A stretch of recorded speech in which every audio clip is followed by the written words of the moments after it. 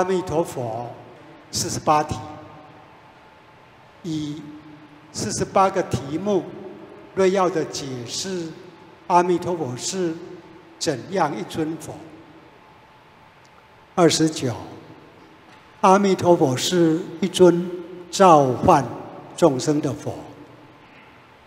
阿弥陀佛第十八愿当中的设我得佛，十方众生欲生我国，乃至十念，若不生者，不取正觉。其中“欲生我国”这四个字，正是阿弥陀佛在召唤着我们说：“您要来往生我的极乐世界，此后专念我的名号，我必定能够让你往生我的极乐世界。”从阿弥陀佛本身来讲，是阿弥陀佛对我们的召唤，召唤我们无论如何都要让他救到极乐世界。对于一个要往生极乐世界的人，如果阿弥陀佛不能让他往生极乐世界，阿弥陀佛就不取正觉，也就是不成佛。阿弥陀佛大慈大悲，不勉强众生做什么，只有长久的呼唤，不舍的关怀，无私的给予，绝对的救度。三十，阿弥陀佛是一尊不病众生的佛。悲华经卷六说。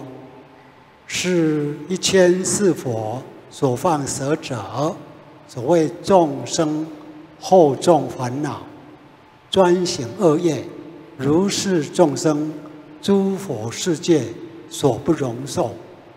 如是众生断诸善根，离散之事，常怀嗔恚，皆悉充满娑婆世界。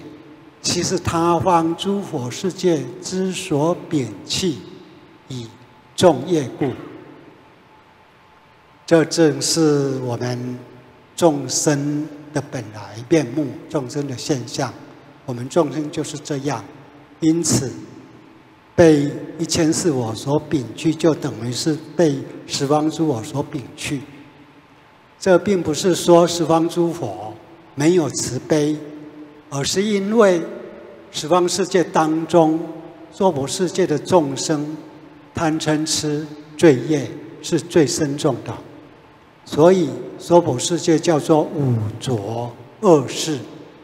这里的众生都是难以救度的五浊恶世的众生，被所有诸佛所摒弃的众生，唯有阿弥陀佛一佛。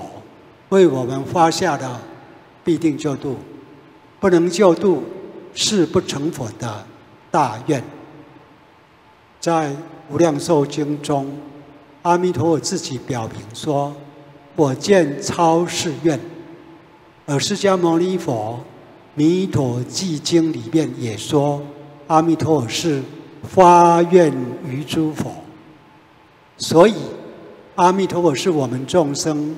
唯一的救主，这五浊恶世的众生，唯有阿弥陀佛有能力救度。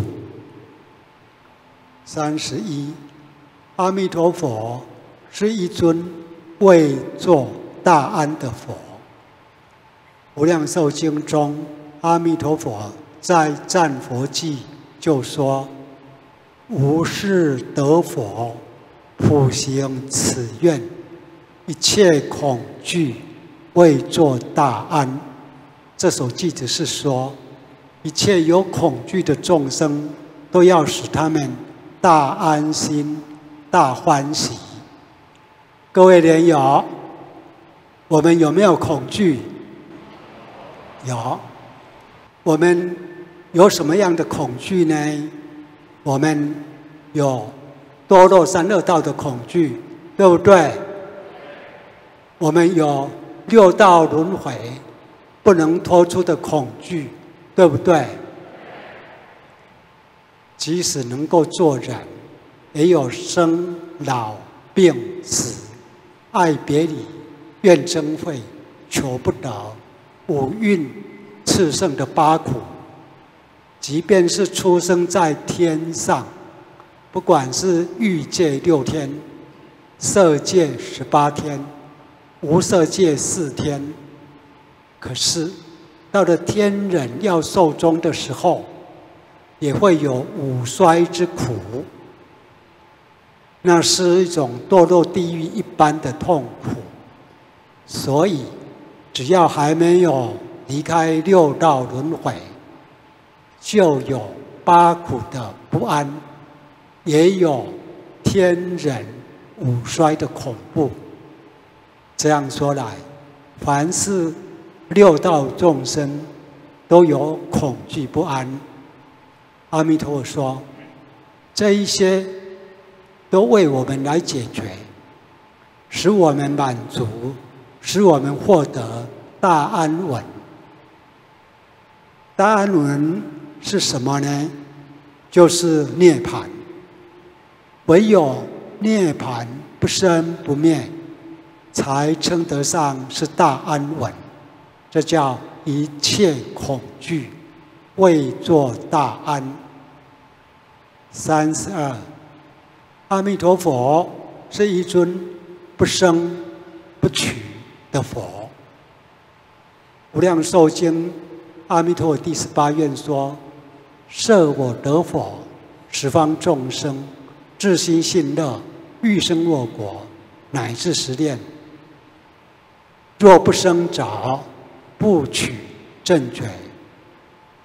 有关若不生早，不取正觉，这二句八个字非常的重要。这就是阿弥陀佛的生命，也是我们的生命。